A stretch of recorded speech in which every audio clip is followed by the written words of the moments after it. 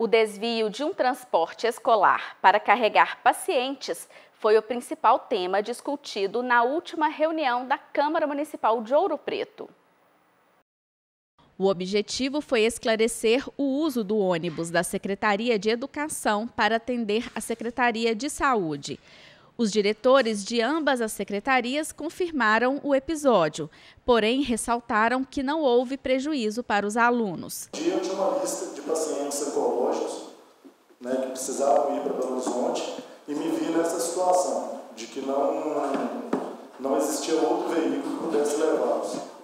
Tá? E eu utilizei o ônibus da educação, autorizei o ônibus da educação para levar esses pacientes é, porque numa situação de emergência realmente não tinha como eu fazer de outra forma.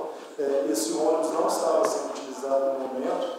Quando eu liberei também esse ônibus para transportar os pacientes, é, eu já tinha, eu tinha conhecimento de que o ônibus não seria é, utilizado naquela semana, porque estaria previsto essa manutenção. Na verdade, eu tinha conhecimento porque eu estou próximo à garagem.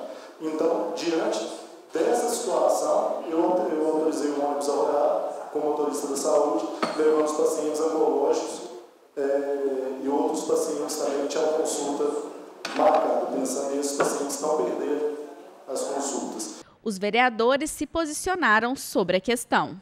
A saúde, a pessoa que está doente, ela não pode esperar. Então, a ambulância tem que ser prioridade também, né? Eu fiz aqui requerimentos é, para saber quantos carros tem prestando serviço, tanto lotados da prefeitura, que são carros próprios, como também que são contratados pela cooperativa.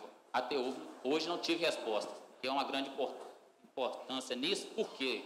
E talvez agora você, nessa pasta agora da saúde, poderia responder para nós, porque se gasta tanto na cooperativa, são milhões, e tenho certeza que são muitos carros da cooperativa que são contratados para atender a área da saúde, e onde estão esses carros? O que estão fazendo? Isso eu fiz no requerimento.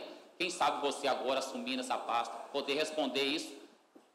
Qual carro estão lotado na Secretaria de Saúde, aonde estão trabalhando e com o PSF, o que estão fazendo, que transporte, que tipo de transporte, para a gente entender e a população entender onde está indo o dinheiro público nosso. Se falando de saúde, é, você pegou o bonde andando com os outros, e bem capengado, né?